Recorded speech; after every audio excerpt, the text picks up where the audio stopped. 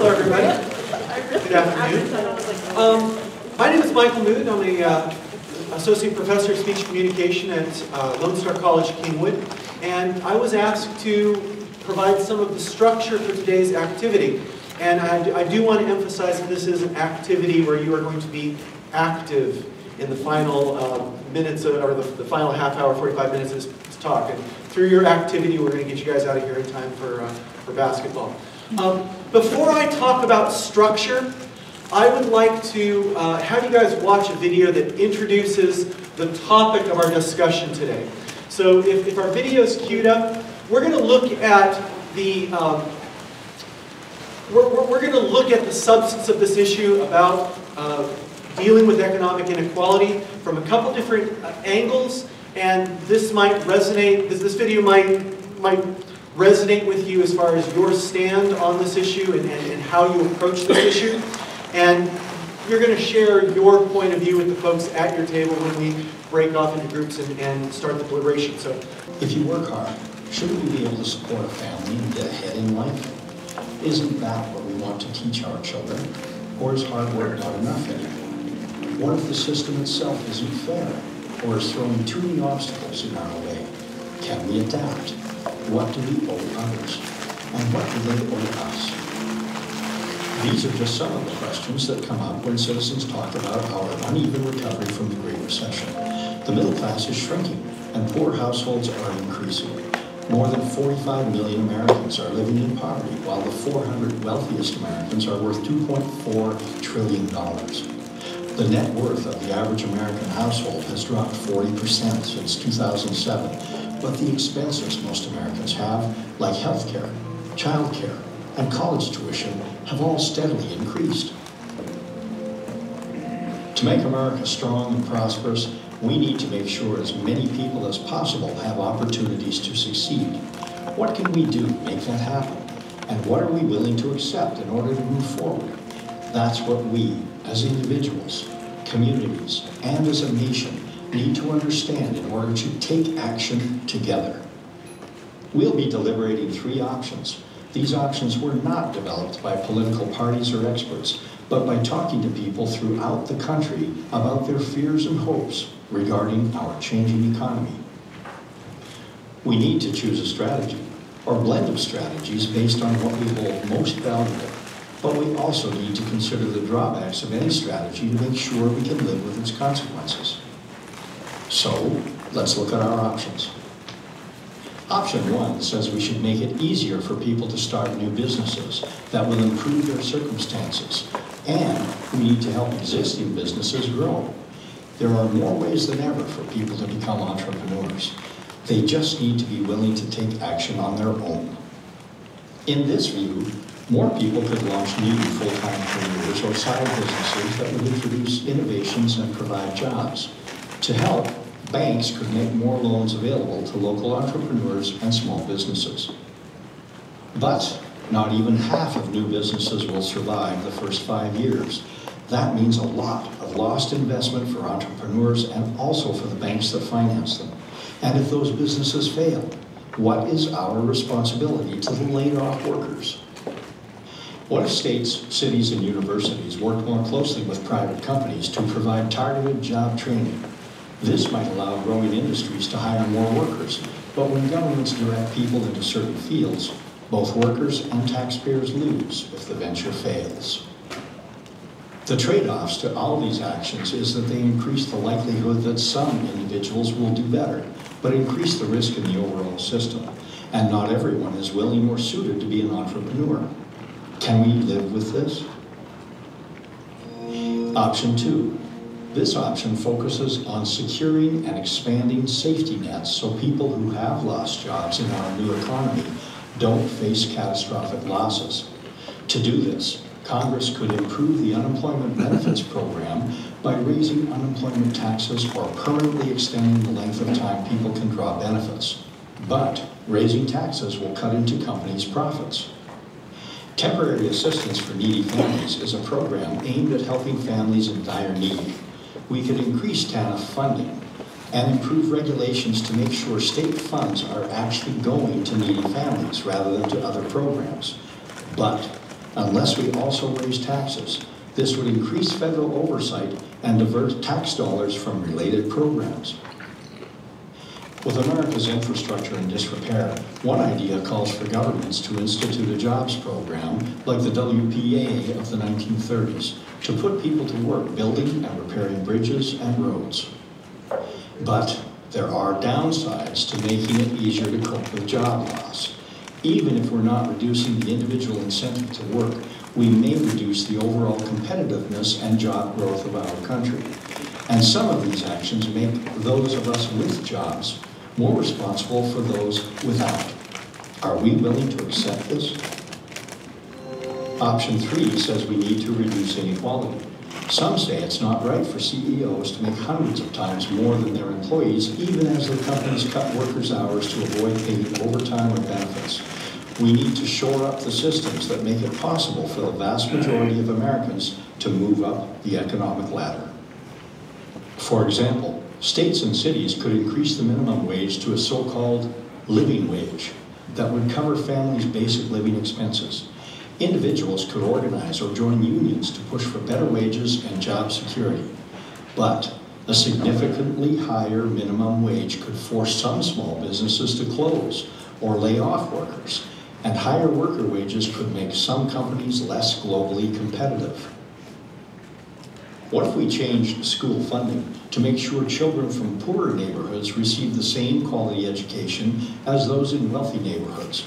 So that everyone really has a fair shot at achieving their potential. We could also subsidize college more so that students aren't graduating with huge debt. The downside of both of these actions is that wealthier individuals may end up paying more. In fact, all of the actions in this approach require more of the wealthy and could lead to less job creation. Can we live with that? These three options are the starting point for our conversation. Each offers a path toward economic security, and yet each has risks and trade-offs. If we want to get some level of control over our huge and complicated economy so that it provides some security for all of us, we're going to have to work together. That means finding some ways forward that we can all live with. We've got some hard choices to make. So let's get talking.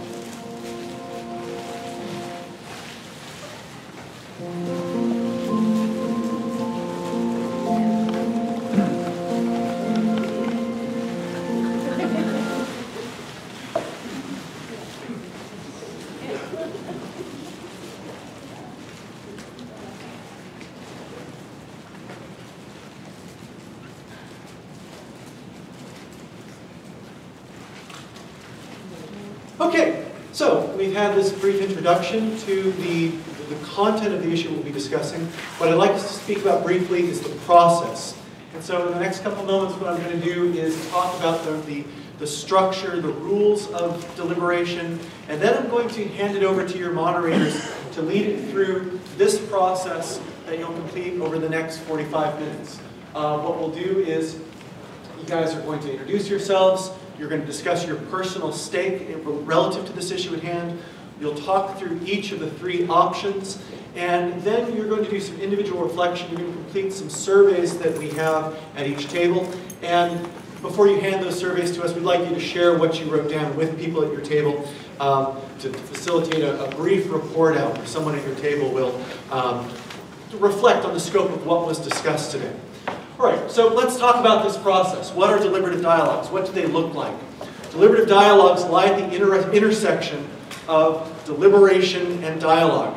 When we are deliberative, we focus on critical thinking, rational judgment, uh, focusing on the logic and the substance of an issue. At the same time, we also engage in dialogue, which is fundamentally about developing relationships with people in our community. We listen to each other, we develop respect, we, we show respect, um, we develop trust among the, the, people we live with, the people we work with, the people we see day to day. So as a component of the larger decision-making process, ideally, when we deal with our issues through deliberative dialogues, first we engage in dialogue, we develop relationships.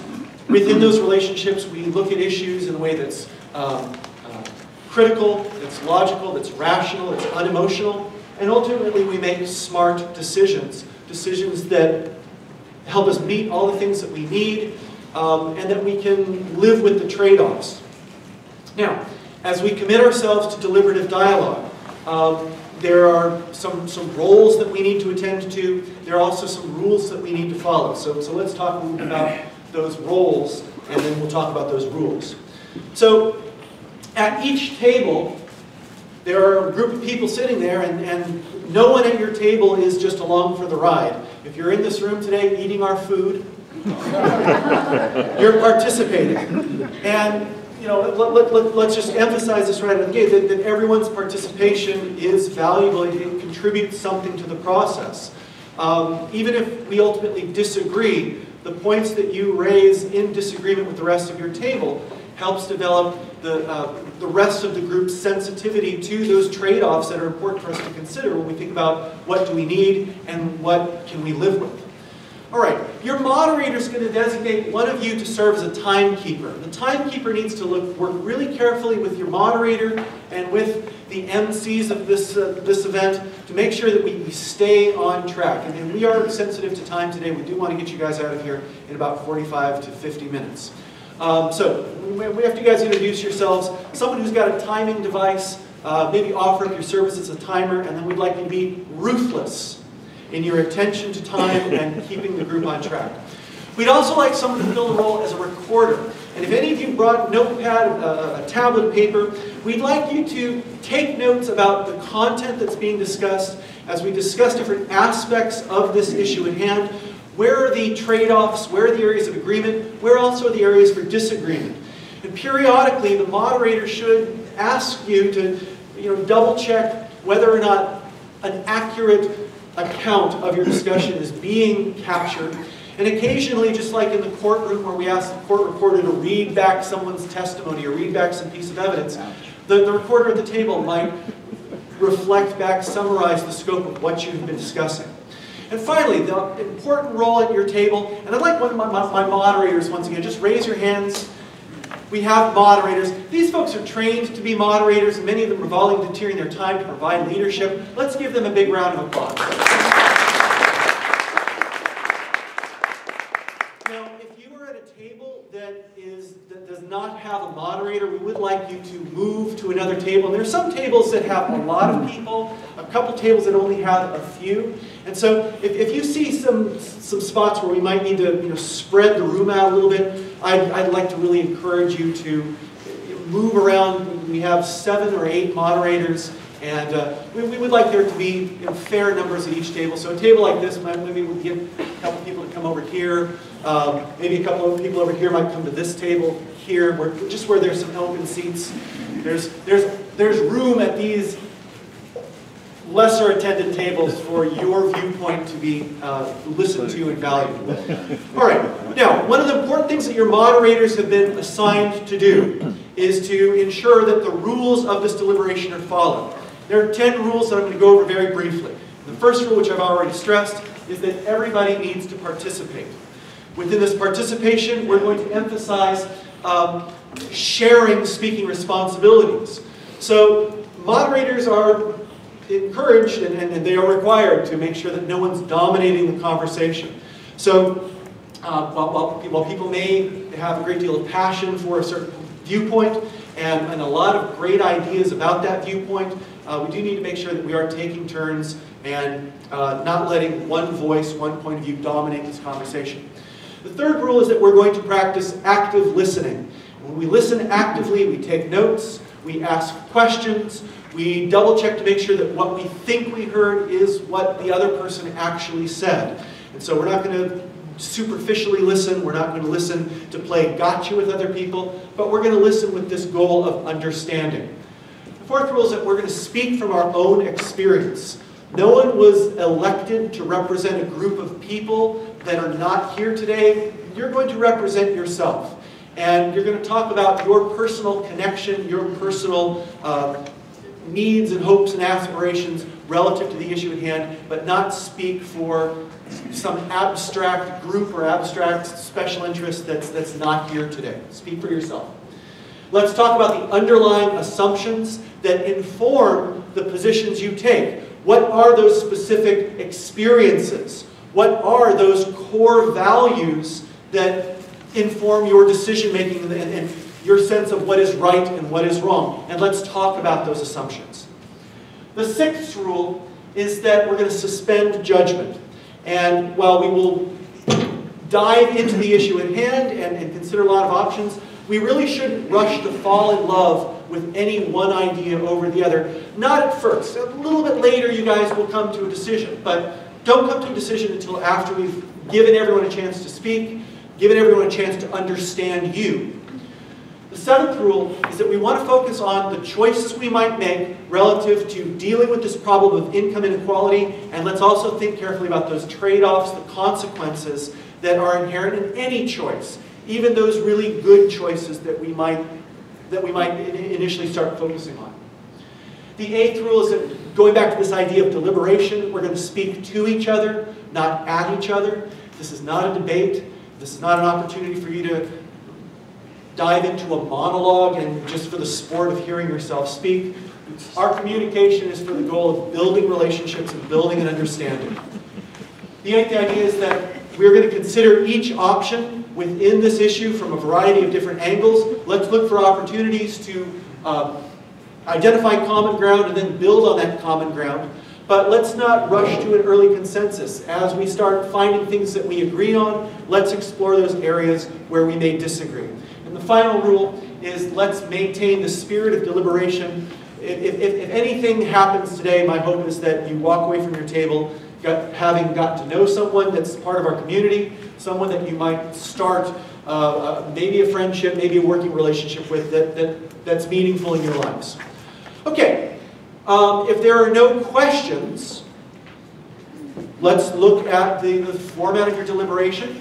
What we'll do first is what's called a personal stake.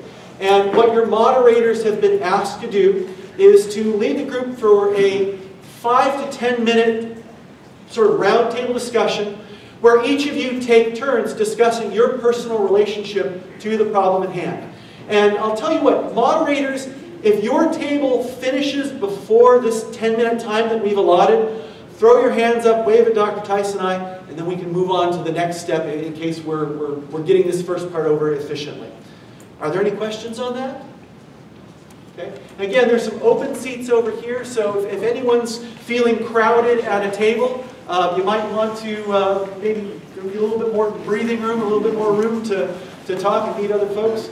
Uh, see some full tables over here, see a full table over here. Again, open seats up here, open seats at this table right here. Don't all volunteer at once, folks. Can we get a free ticket uh, for $300 to No. fly?